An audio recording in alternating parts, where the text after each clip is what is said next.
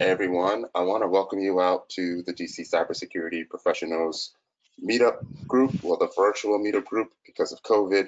I, I am Tyrone E. Wilson, the CEO and founder of Cover Six Solutions. We organize the meetup group, uh, the DC Cyber Warriors. We're over 8,000 people right now. We are attempting something new this year, and that is to give a presentation every Thursday. So follow us on meetup.com slash DC Cyber Warriors or on the Cover Six Solutions uh, YouTube channel. We have a playlist called the Virtual Meetups. So follow that playlist. You will learn something new every week. I can guarantee it. Also, check out some of the past speakers. We've had some really, really, really good speakers. Also, we have a really good one coming up next week uh, with Alyssa Miller. It's called um, F You Pay Me, knowing what knowing your worth, and that's going to be really good for those trying to identify, you know, um, tips to negotiate salaries. So I want to welcome Juan, and I want to say thank you for coming out. Um, you are in a different time zone. Juan's in Spain right now, so we're really happy to have you. And with that being said, um, we're going to talk about the browser exploitation framework and social engineering. So Juan, take it over. All right. So thank you very much, uh, Tyrone, for this opportunity. So let me try to start, you know, share information about the browser exploitation framework, about how to use some social engineering techniques to, uh, you know, to take control of the browser of the victim. So a little bit about me. My name is Juan Araya. I'm from Costa Rica. Right now I live in Spain. I have almost two years living, living in Spain. I'm a cloud security specialist. I have a master degree in cybersecurity and also earned several uh, cybersecurity related certifications such as the CompTIA CAS and Pentest and uh, Certified Security Analyst and Security Plus. I'm now trying to get more more um, specialize in cloud. For example, I already I passed uh, just a few weeks ago the AWS Cloud Practitioner, the Aviatrix, and in my pipeline uh, very soon I'm going to try to take the AWS um, SA Architect, you know, Solution Architect, and then of course the AWS uh, security. So little by little, that's a little bit about about my background. Feel free to add me as a contact on LinkedIn and follow me on Twitter if you want. I'm always sharing information about cybersecurity, um, so feel free to contact me. This is a, uh, an honor to be, for me to be down here sharing this information. So what I'm what I'll be talking about, I'll be talking about this specific topic. So first of all, I'll provide a quick introduction about, you know, the current landscape, about the, the, some trends that are, that are pretty interesting. Then I'll talk about what is social engineering and why it is so important to know how to use it then about penetration testing and how you can combine social engineering with penetration testing. Eh, I'm going to try to focus on one of the many tools. In this case, it's going to be the browser exploitation framework. This is a very interesting tool that would enable us to execute a JavaScript that is going to hook the browser of the victim. And that way we will be able to bypass all the security, right?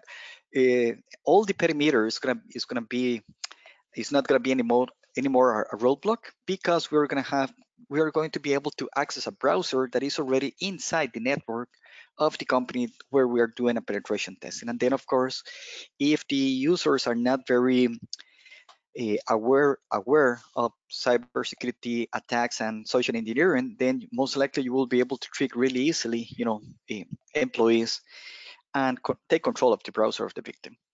Then we will know about the uh, actual architecture. You will see something uh, that for me caught my attention that is extremely simple, the architecture. We're talking about a JavaScript, we're talking about a database. It also has some APIs that you can consume. You will learn about the hooking process, which is very, very simple. It contains a part that is related with social engineering, and of course, a, a technical part where you will be integrating BIF with Metaxploit to send payloads and execute um, some specific attacks. And finally, I'll show you some example of how you can use um, the browser exploitation framework and some uh, social engineering tools to perform your different um, security assessments.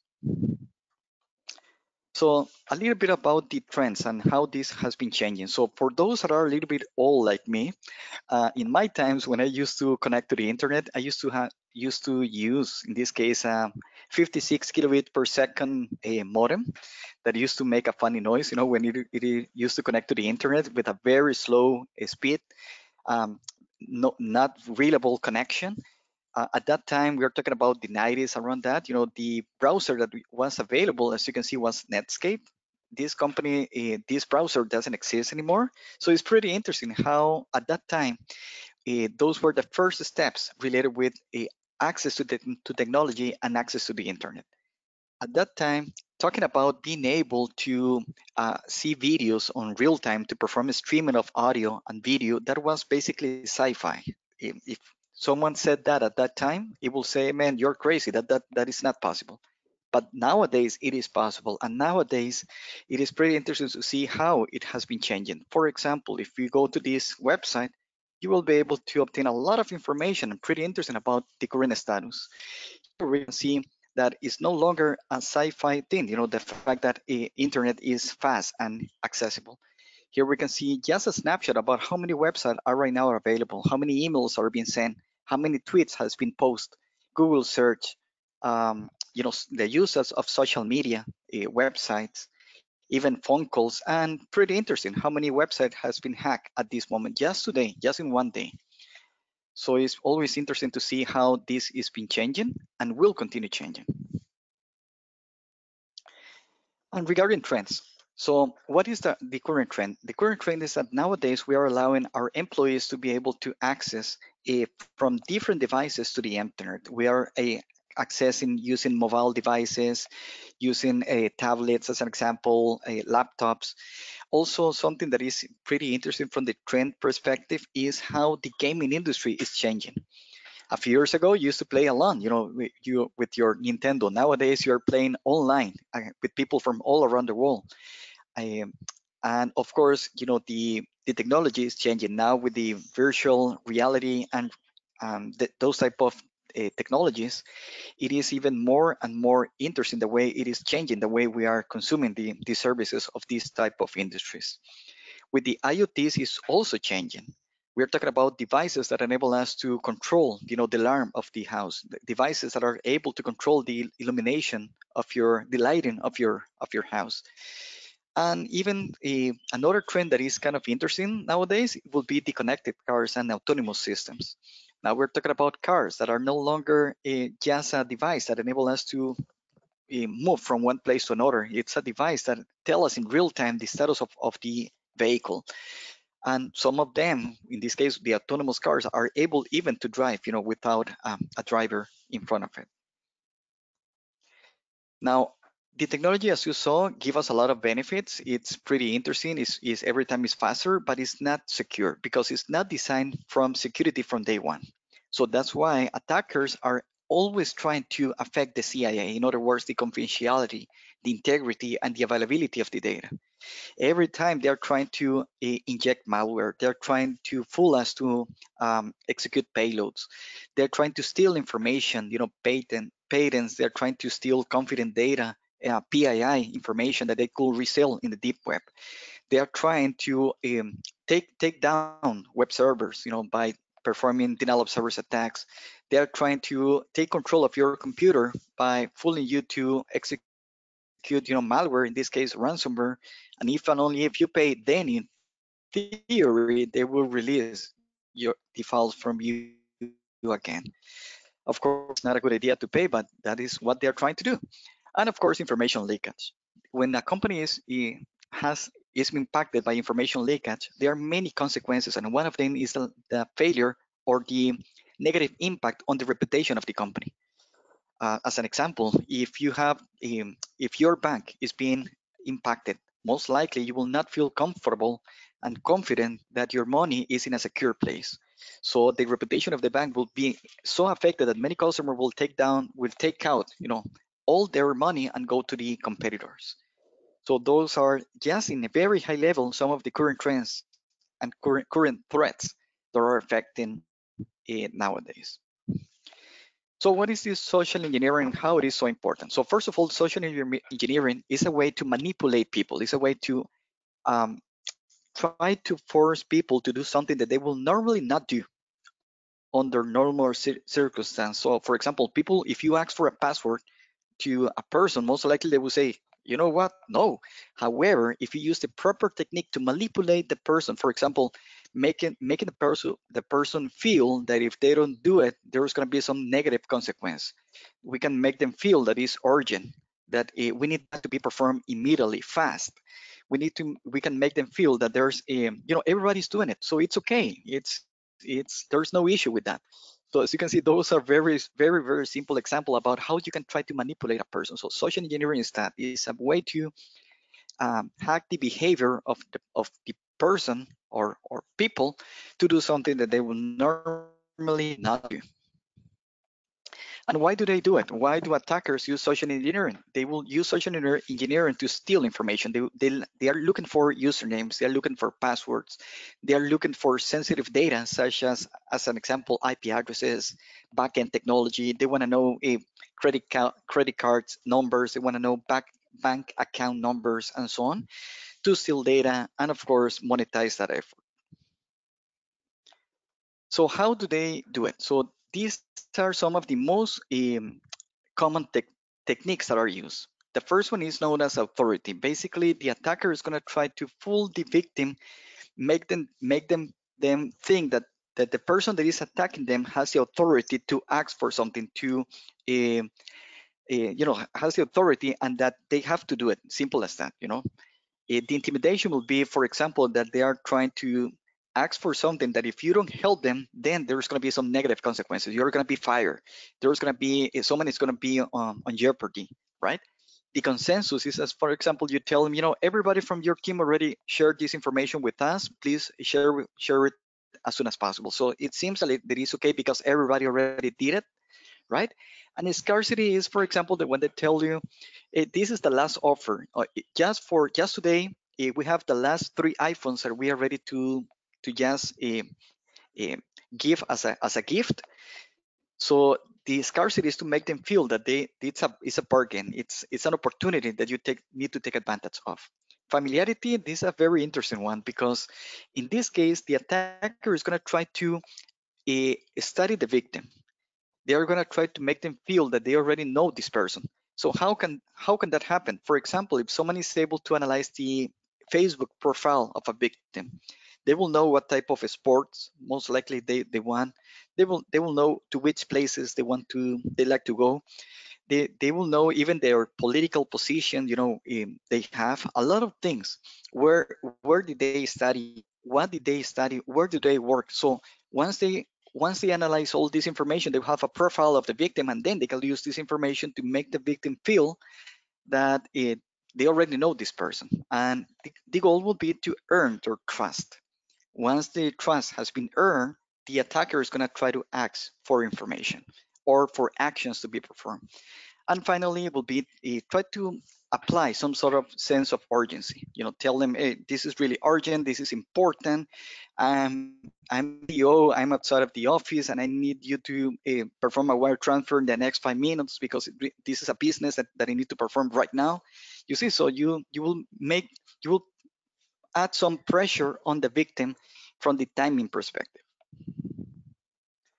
So this is an example about uh, one of the many techniques that are being used uh, using social engineering. In this case, this is phishing.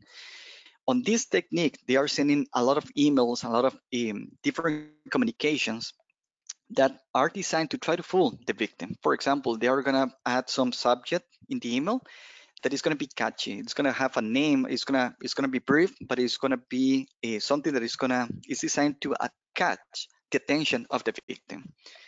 Then uh, they will add some um, pre-texting. In this this case, they will add some text designed to try to fool the victim. In this case, they are talking about um, get an affordable health coverage. They are going to give you three links However, even when these links are supposed to go to, to some sort of insurance company, of course, it's not that's not going to be the case. They are gonna these links are gonna point into some websites that most likely will be malware already eh, available to be downloaded. And after that, as you know, a malware could be installed and executed on the victim uh, computer. So some people will say, but how this is so uh, efficient? Because uh, I mean, people should should should be more careful with this. Well, it's very simple. You know, a, every day we are living in a fast-paced life. You know, people are receiving a lot of emails. People don't pay attention to details. People just read real quick. Some they perform some sort of, some sort of skimming. They just see the subject, they just see the text, and they think, okay, this seems to be legitimate.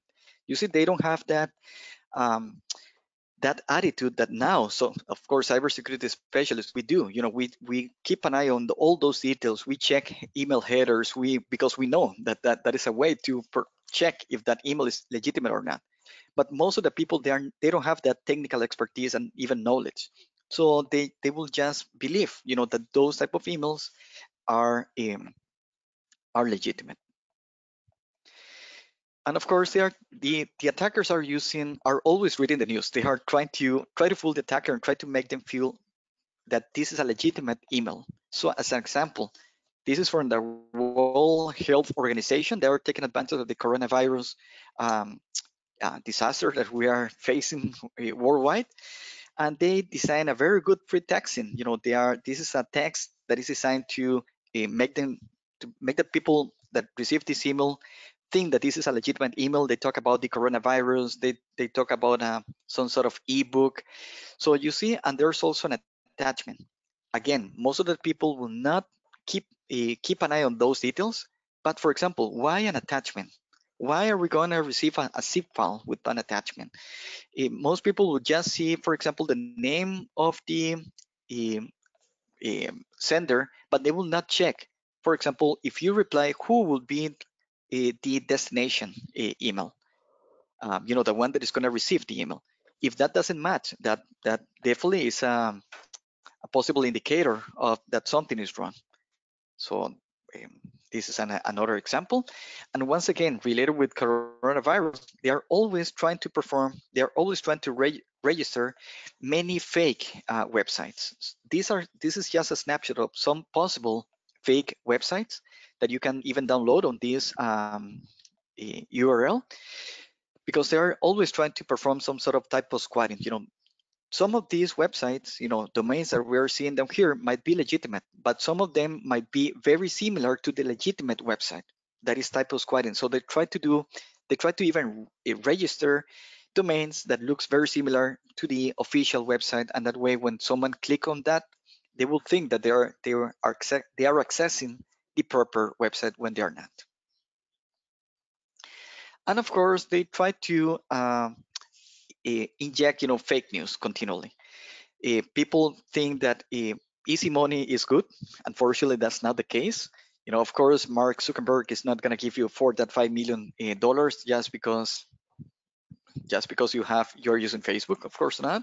Uh, some of them are are um, always also uh, reading the news, and they are also knowing about, you know, for example, latest threats related with malware, and they try to impersonate that they are an antivirus company, that they are a cybersecurity company, and they might send emails, um, making the feel feel the possible victim feels that if they do this, you know, if they download this um, security fix as an example or hot fix, that is gonna avoid your computer to get uh, infected. But of course, that's not the case. That uh, attachment is not an antivirus. You know, that attachment is an actual virus, as an example.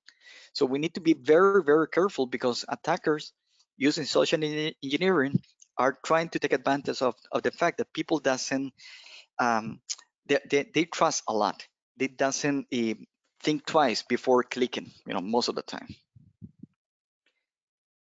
And emails is not the only way to use social engineering to make attacks.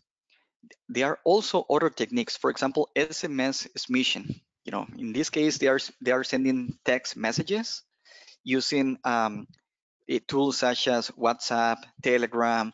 They are using, of course, a, a SMS, you know, text messages from a, from mobile devices. They are able to even perform some sort of spoofing from the uh, phone number. So you might think that the SMS message that you just received is from the actual bank because the phone number seems to be from the bank, but that is not the case. There are tools designed for that. And another way to perform social engineering, engineering is known as phishing. In this case, it's by phone call. So someone is going to perform a phone call, is going to impersonate maybe a, someone from upper management, is going to try to start forcing or asking for some specific action. And again, they can use, for example, the intimidation uh, technique. They could say uh, that if, if you don't execute that action item, of course, that is gonna that could impact I don't know the uh, safety of the employees. People could get fired, so that's why we need that action item to be performed fast and now. So that that would be phishing. You know, when you're using your voice to impersonate someone and to use social engineering techniques. Now, penetration testing. So this is the other part. So first, we need to understand what is social engineering, um, what are the risks, how it is performed.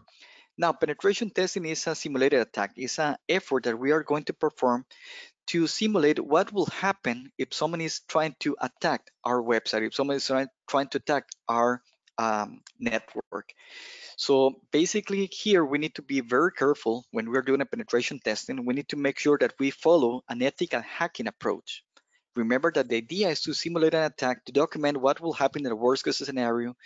Um, so, and this is totally different from a vulnerability scanning. A vulnerability scan is an automatic, automatic, automatic test that is performed, you know, using a tool such as Qualys or Accuidingx or any other, right? That at the end will give you at the end just a, an automatic report. A penetration testing is when you're going to have a security expert, you know, executing um, those attacks to try to exploit those vulnerabilities that has been discovered. And how those vulnerabilities are discovered, there are three possible scenarios. For example, when they hire you for a black box penetration testing, that means that you will have no information about the target. They will just tell you, I want you to perform a penetration testing against my company. That's all. They will not give you IP addresses. They will not give you backend information, no, no credentials, nothing. Some companies might give you some data to make the penetration testing even faster and easier. That, that is known as a gray box penetration testing. So you will be able to start, you know, if um, from day one with more information compared to the black box pen testing. So with the gray box, you will be able to start, you know, uh, trying to exploit some of the vulnerabilities that has been already shared uh, by the customer. For example, they tell you that they are using, I don't know, a web server, an IIS, a web server version X. So you can easily research and know what type of vulnerabilities are present if you're using that specific version of web server. And finally will be a white box penetration testing where basically they are going to give you all the information that you want, that you need. Of course, um, these three types of penetration testing, there's one data that is extremely important, which is the contract. The contract needs to uh, identify in black and white exactly what you are allowed to do. What is the outcome, the expected outcome? What is the objective? Right? Uh, and please, when you do a penetration testing, be very careful to respect the scope of your penetration testing. Okay, don't do more than what has been requested, but because you could be, you could be, you could have a legal, you know, issue if you do it. So you just perform a penetration testing if and only if you have a contract that is uh, very clear and depending on the type of penetration testing, then you will have some information that will make your life easier during the um, vulnerability assessment and security assessment. Now, which are the phases? The phases are extremely easy. So the first one would be a planning and reconnaissance. Again, planning, as, as you saw down there, I'm highlighting it, highlighting it in red. Why? Because the planning section will be when you are uh, trying to define the scope, when you know what type of penetration testing you're going to be performing, what you're going to be allowed to do, what you're not going to be allowed to do. And once you know that, then you're going to start uh, analyzing your target, analyzing your victim. So for example, if someone hire you to perform penetration testing of the network of a specific company, and you want to use also social engineering, you can, during the reconnaissance, you will be uh, trying to gather information about who work on that company, what type of email address are, are available, um, who, uh, what are their interests. So you will start gathering information that will be useful for the next phases. On the threat modeling, you're going to be identifying, okay, what type of vulnerabilities are present, what type of attacks could be performed, right? And then the third one, you are going to be a, analyzing based on the vulnerability assessment that, that was performed, which are the best weapons that will be useful for you to exploit those vulnerabilities. So, uh, of course, once you define your weapons, you need to send the different payloads, and hopefully those payloads are being executed, and that's the exploitation phase, uh, where, for example, the goal would be to try to ask someone to double click on a on an attachment and that attachment is going to uh, op open up a backdoor so you will be able to have shell access. So that will be the exploitation. You finally have access to shell on the target computer. And once you have access to shell of course you can do uh, depending on your penetration testing you can try to do pivoting.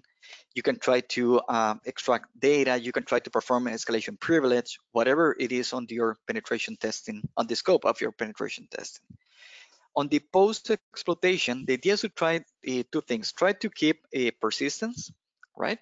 You can create your own backdoors in case you need to continue your penetration testing later on. And, and once you complete your penetration testing, you need to perform two action items. Number one, make sure that you are documenting all your findings uh, because at the end you have to create a report to run penetration testing. Without the report, there's no payment. So make sure to do a very good reporting and then to remove your tracks, you know.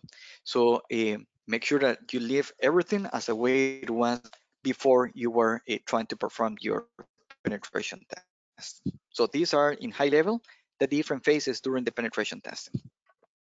Now with BEEF, with the browser exploitation framework that I'm gonna mention in a few minutes, the goal will be to try to bypass all the security uh, that a company has just by fooling someone that is already working inside the network of your target um, company. So even when the company has the biggest and the most expensive firewall, even, even if they have EDRs, even if they have antivirus, even if they have uh, network service protection, even if they have a, an IDS, an IPS, whatever they have, right? If the victim is um, accessing a website that is running um, in this case a hook in JavaScript, then you will be able to control the browser of a computer that is already inside the network. So that will open up, you know, the Pandora box. Uh, it will give a lot of um, possible uh, attack surface that you can exploit. So what is this browser exploitation framework? So first of all, if you go to this link to the browser exploitation framework.com, you will be able to know a lot of about, this project. It's an open source project that enable us to take control of different browsers. So once an, a person access a, uh, access a website that is running a specific JavaScript that is able to perform hooking process, then you will be able to perform reconnaissance uh, of the uh, target uh, operating system, of the target browser. You will know the version. You will know um, if it is a 64-bit computer, 32-bit computer. You will be able to obtain a lot of data. And of course, you will be able to send a specific payloads that will be executed on the victim uh, computer. So this project was created initially using PHP and then it was migrated to Ruby. In the early, about almost about one year ago, the installation process was a little bit more um, uncomfortable. Nowadays, it's extremely easy and you're gonna see it shortly um, because there's a, an, an option that is going to install all the prerequisites for you right away. It's extremely, extremely easy to use. Now, this is the look and feel of the dashboard. Basically, it says, for example, you will be able to know which browsers uh, are online. In other words, which of the victims that are are right now accessing the website that has the uh, JavaScript. And you can also obtain information about those victims that uh, in some point of time, they um, access the website that has the hook in JavaScript. This project was initially designed by Wade Alcorn. You can see uh, his profile down here on LinkedIn. He works on Alcorn uh, group in Australia, and this is his book, you know, the Browser Hacker's Handbook, in case you want to learn more about the this a very interesting project, the Browser Exploitation Framework. So when you access this uh, website, you will uh, obtain information about what is this framework. You will be able to even download the source code because it's an open source uh, project. Uh, a lot of documentation. If you see any improvement areas, you can even share those improvement areas. And if you want to contribute to even to do it even better, you can do it. Now, what type of attacks can you perform? With the browser exploitation framework, you can try to perform different type of attacks. The first one would be hooking, where basically in the hooking process, you will take control of the browser of the victim. And once you do it, you will be able to perform fingerprinting. You will know about the operating system, the browser version. You will know a lot of information about the uh, what extensions are installed, uh, for example. Then you will be able to send uh, payloads. You will be able to exploit them to discover vulnerabilities, and of course, it performs use social engineering to fool the, the victim. For example, you can um, send a specific message to appear on the browser of the victim that looks like a new plugin or a message, a legitimate message from Firefox where it is not. So that would be some phishing uh, examples. And of course, now we're, because we're talking about phishing, uh, we can use the browser exploitation framework to also perform some layer seven attacks. And one of them could be a cross-site scripting attack. So that is pretty interesting. Um, and again, that opens up the opportunity to perform in not only basic attacks, but also some more advanced attacks. The architecture is extremely simple. The architecture, you can see down here, it, it is composed of database, in this case, a SQLite database, it, it has some uh, configuration files, in this case, some config.yaml files. It uses some command that a JavaScript a file, and of course, the code is developed using Ruby. So that's why you have a backend Ruby class on the module.rb file. And if you want, if you want to interact in, in an automatic fashion or programmatic fashion, you can also use the BIF API. This is the general structure the hacker and also the user, they will be interacting with a web server that has a website that has been compromised and that is running a, a JavaScript and a specific JavaScript. That JavaScript, as you can see, that, that's the JavaScript hook. That is the one that is going to be sending information in real time to the BIF server about a browsers that fail, you know, on on the on the trick browsers that uh, bite the dust, you know, and are hooked at that moment. It also it has access to a database where you can obtain information about the different um, the different exploits that are ready to be executed and the different type of commands that you can send against the victim. And I mentioned also, if you want to do it, you know, via API, there are some APIs that are going to automate, for example, the authentication process, the fingerprinting, checking logs, and launch different commands. This is just an example about how the API, the use of the API looks like. You are going to use a token, you're going to specify which is the BIF server, and of course the um, the port that is going to be used. In this case, port 3000 is the default, but it's not the only one. You can also customize And once you start using uh, the browser exploitation framework, you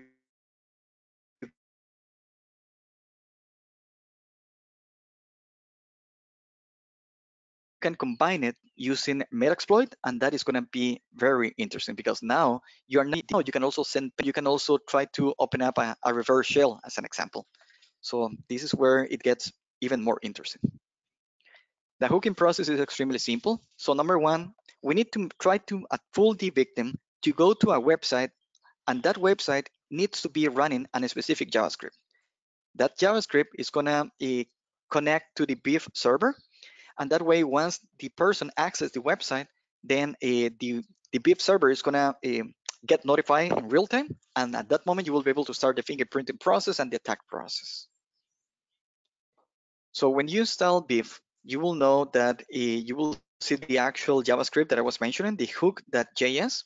It will also have an administration panel, an administration GUI, so you can uh, manage it.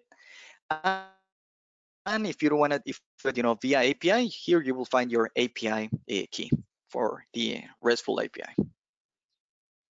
The graphic user interface is extremely simple. It will have for a, a default login page. The default um, username and password will be BIF, but of course, when you install it, you'll have to change it at your credentials. And this is the um, the main page.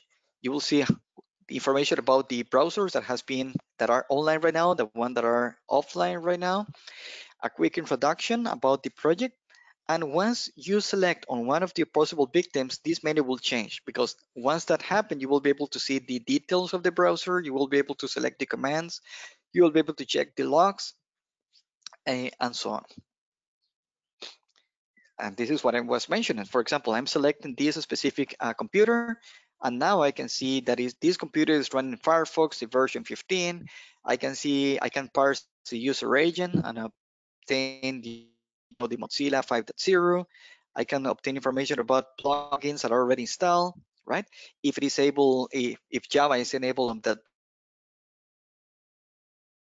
browser, if JavaScript is enabled, and so on. So many, many data from the fingerprinter perspective with the first step, you know, on, on a penetration testing process where you are going to be performing some reconnaissance. Now, when you're using the BIF a graphic user interface, there's a section that says commands. On that section is where you're going to select your different attacks to try to take control of the browser of the victim. Now, there are some that are already predefined, and it all and each and every one of these possible attacks that you can try to execute, they, they use a color coding, and this is the color coding. The green means that that attack is present, that vulnerability is present, and you can try to exploit it. And it's going to be invisible. In other words, the victim is not going to see any pop-up. They're going to see. They're not going to see any anything on their computer. It's for them. Nothing is happening. But we know that those commands are being executed. If it is in orange, it means that yeah, it's going to work, but most likely the victim is going to see something. It's going to be a pop. They're going to see a pop-up. They're going to see, I don't know, a command line and so on. The gray means that we don't know. We don't know if that um, attack is going to work. You need to check it out. And if it is on red, it will not, don't lose your time because it's not going to work, you know. And of course, it, it, the color coding will, will be different depending on the browser of the victim and how updated is the browser and many other factors. So not all the uh, commands that, that are available will work when you try to perform a penetration testing using BIF. Now the installation is extremely simple. For example, if you're using Kali Linux 2020.3 or 2020.4, first make sure that your Kali Linux machine is up to date. So just perform, you know, the sudo apt-get update and the sudo apt-get uh, upgrade before installing uh, BIF. Then uh, download the project. In this case, you know, using git clone. Then go to the actual folder, cd BIF. This you're gonna see the folder. Make sure to install. That's why I was saying that right now it's a lot easier and faster to do it. Ch make sure to change your default credentials to yaml.config file it is there are two YAML.configs, one that is inside the BIF folder and another one that is inside BIF extensions, Metaxploit. You're going to find another one named uh, YAML.config. On the first one, this is going to be the username and password to access the BIF administration um, console. And the second one will be to be able to interact with Metaxploit. Okay, so just make to make sure to enable it and to change the use, default username and password. And this is where you're changing the default username and password of the Metaxploit extension uh, on this uh, config.yaml file. Then after that, make sure to update the geo database and the browser exploitation uh, framework web server. These are the commands. sudo that uh, slash a update.bif and the other one is basically that slash update that geo IP database. Then in order to make sure to be able to use Metaxploit, you need to enable the RPC communication. In order to do it, it's very simple. Just go, you know, start the Metaxploit, then type load MSG a RPC server host. Make sure to add down here the IP address of your uh, server, the username and password that you set on your second uh, config.yaml, the one that is inside the extensions Metaxploit, and that's it. Um, now you, your beef is going to be able to use Metaxploit and load all the different payloads. Finally, make sure to start your beef uh, project. Is just go to your folder, type dash slash beef, and it will start the, the project. Um, you know, just authenticate, use your username and password, and that's it. You know, this is going to be the default website that you're going to see when you install beef for the first time. Now, just as an example, let's see what we what you can do with the browser exploitation framework. So for example, if you try to do it, the first thing that I will suggest is to try to perform the reconnaissance of possible victims because the idea is to try to fool someone. So one possible tool that you can do that you can use would be um, the harvester using OSINT, open source intelligence. So for example, you are going to type, you know, the harvester slash d, the domain of the company that asks you to perform a penetration testing, uh, obtain information about people that work on that company, filtered by LinkedIn, you know, as a, as a source of data. Then it will give you a lot of information about possible email addresses that you can use to try to impersonate. Then prepare your bait. So in this case, you're gonna, the, the goal is to obtain even more information about the victim. If you want to perform some sort of spear phishing, in other words, try to perform a phishing attack against a specific group of people, or a, so in that case, you know, try to obtain more information about them. Maltego is a very good source, you know, just add the domain, or you can you can start the research by email address, and little by little you will know more about the victim. Of course, in Maltego, there are two versions. The free version will give you some general data, but if you're able to pay for the enterprise version, that will be even better. It will give you more details about your possible victim. Then you can also use social scan. This is another tool that uh, will give you more information about uh, which accounts that victim has also on social media websites, such as uh, Spotify, Twitter, um, Facebook, and many others. And now, the, this is one of the most critical sections. Define up the text that you're going to be sending to the victim. That is pre-text. So make sure that it's catchy, that something that catches the attention of the victim. You can use any of the, te the techniques that I mentioned, like scarcity, urgency, familiarity. The quid pro quo, that means that, um, for example, you are, you're going to make the, the victim feel that if they do something, they will receive something, right? So that's the quid pro quo. Make sure to select a very interesting subject, that the body looks good, you know, use a, a HTML format, you know, in other words, use the colors, add pictures, you know, to look as a, as legitimate as possible. The hyperlinks, you can use some techniques to try to hide the, the real IP or the real URL. You can use tiny URL. You can you can change the the display hyperlink text to be a to look legitimate, but of course the URL is going to be totally different. And of course, you can use ngrok and you can use other techniques to try to hide your um, your uh, domain. So this is just an example. If you uh, are analyzing a victim and you, after analyzing the social media, you know that this guy likes to do some mountain bike, so you can do that pre-texting based on a possible a bargain of a mountain bike. So you see 45% of the of your mountain bike computer just during this weekend, click here. Now, in order to prepare the hook, first of all, if you just use the default website that Beef sent you, most likely will not work. You need to do a little bit more. You need to um, create your own website or clone an existing website and then replace it, right? So for example, I'm trying to, uh, I clone a website using this social engineering toolkit. There's an option down there to clone websites.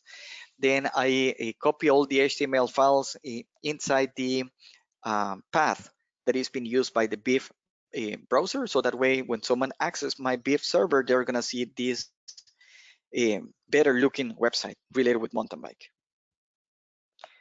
Now, how can you expose your web server? So you can do it in several ways. One of them could be by using ngrok and, and try to use tinyURL to hide and to give less details to the to the possible victim. Or you can use some type of squatting in other words, go to GoDaddy or any website, any register, register a domain that looks very similar to the to a legitimate website the, that is known as typosquatting, and try to redirect that domain to your ngrok uh, web server.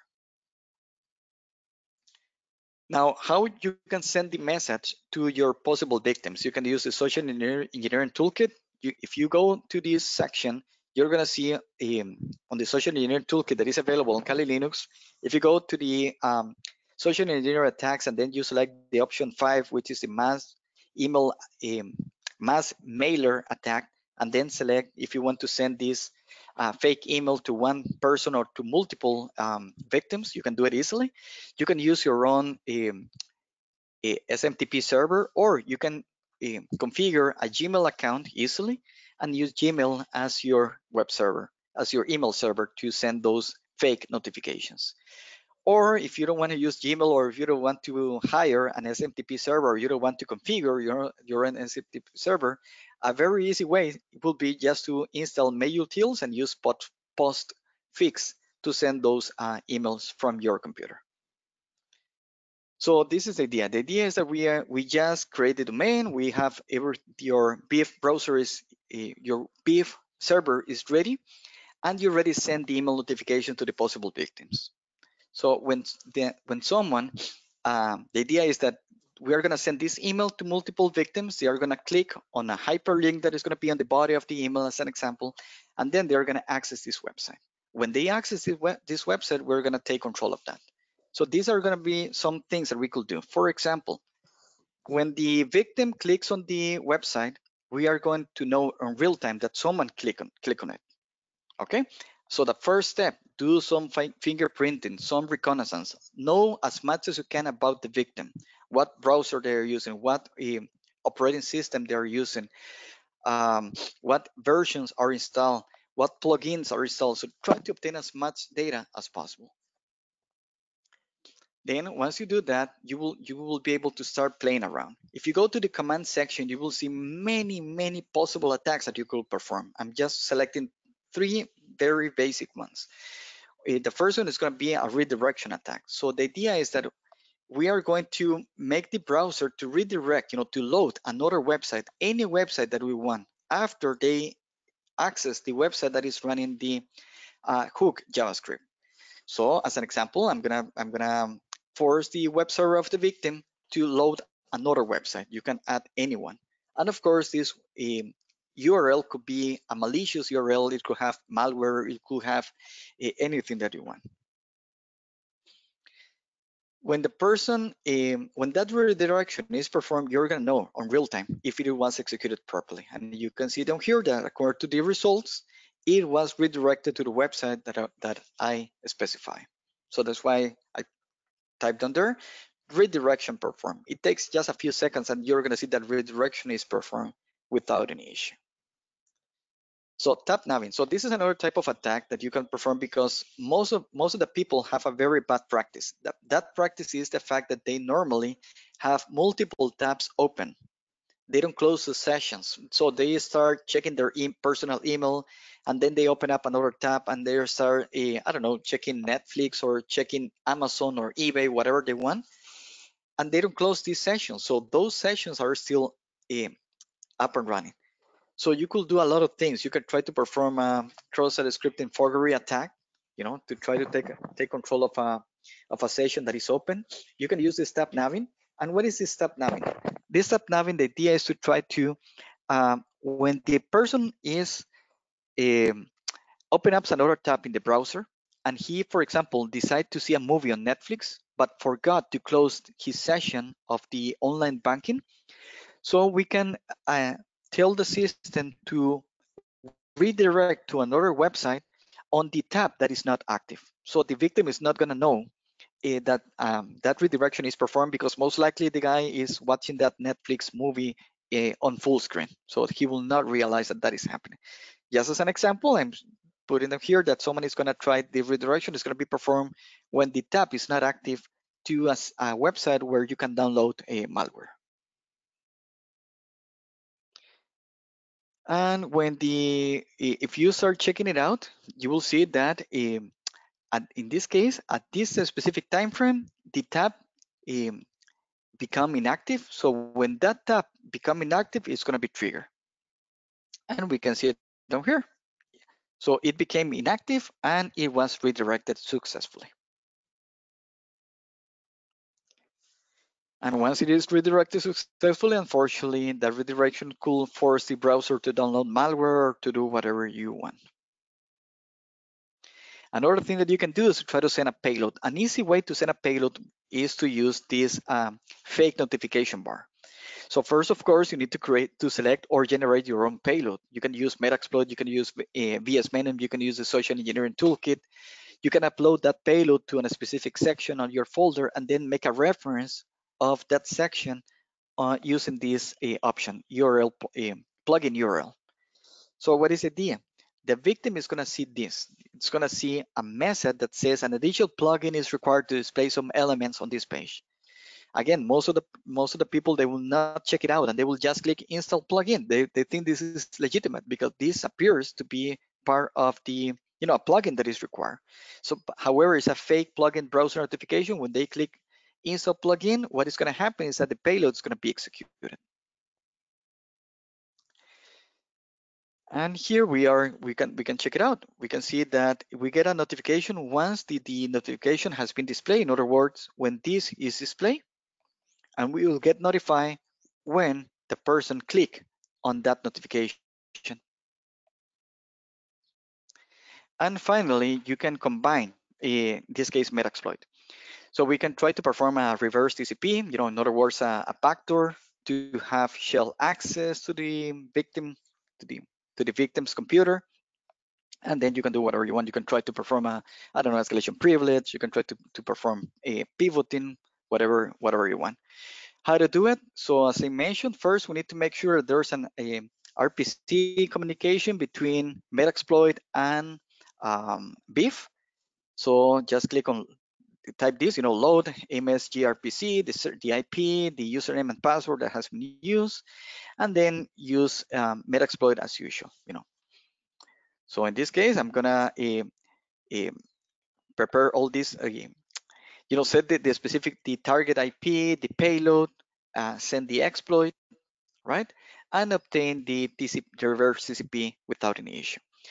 Now, of course, the payload can also the payload that was generated with Metaxploit can also be uploaded into the web server and we can send a fake notification and generate, a, I'm sorry, and execute that a that a backdoor, you know, that, that instruction to start a backdoor on the browser victim, and you're gonna see on your Metaxploit that someone finally, you know, unfortunately, by the dust, and now you will be able to have a shell access to the victim computer. And finally, persistent. This is important to do. If, if, the, if the victim closed the browser, then the connection most likely will be lost. Or if the victim closed the, um, the tab, the connection will be lost. But there are some techniques. One of them is to use a man in the browser attack to try to keep a persistent. So it's extremely simple. Just go to the persistent section, man in the browser, and execute it. Simple as that. And that's it. I don't know, uh, Tyrone, if there's any question.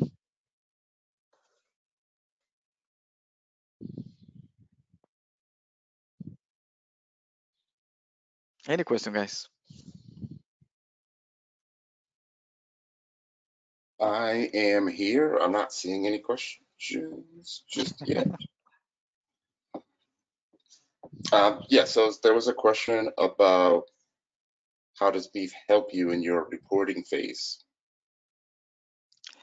Okay, so how BIF helps on the reporting phase. So I will say it will help a lot from the, um, you can take a screenshots, you can uh, obtain evidence, you know, show evidence that that, that type of activity was performed. You can uh, uh, know about how far you were able to uh, reach, you know, on your penetration testing effort.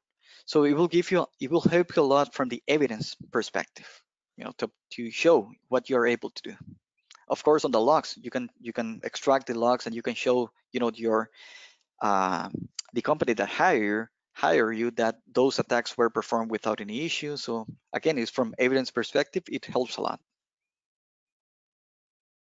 Another question. I know the answer to this but i want them to hear it from you. Is sure. is this safe to use on the internet? Is it safe to use over the internet uh, that's an interesting question. Um, so let, let me see. if I understand it properly. So if it is safe to use beef over the internet to, perform penetration testing. So from the legal perspective, you have to be very careful, okay? In other words, make sure that if you are going to only allow connections to your uh, BIF server from IPs from your victim, right? Uh, because at the end, it's going to be exposed over the internet. Someone else could click on it that is outside of the scope of your penetration testing, right? Someone could forward that email to someone else that is not on that company. So please be very, very careful on the way you use BIF. Uh, again, using your social uh, ethical hacking hat, uh, and be very careful. You know, getting in a legal issue is, is could be very easy, unfortunately. So I will say that that would be my my position. You know, it, it's secure as, as long as you are able to control who can use your browser exploitation framework. Okay, there was um, a question about how do you trust the pen testing tools um, and ensure that the tools aren't malware themselves. Okay, well, that's a uh, an interesting question because we are using tools that could be used for good and tools that could be used for bad. Okay, so I will say that if you want to use these tools and if you want to make sure that it, it doesn't have, it doesn't contain any malicious code, well, it, this is open source. You know, just get into the source code, try to get familiar with what exactly it does, try to know, uh, you know, uh, what, what is going to happen when someone click on it. So I will say that will be my advice because these could be tools that could be used for training purposes for cybersecurity specialists, but also could be used by cyber, uh, you know, cyber criminals to do bad things. Okay, uh, I see two more yeah. questions. I know the answers as well. Um, okay. How much would this setup cost, and how do you defend against it? How much this setup cost? From the cost perspective, uh, man, this is open source. This is this is free. this is all, all these tools that I mentioned. You know, the Kali, the browser exploitation framework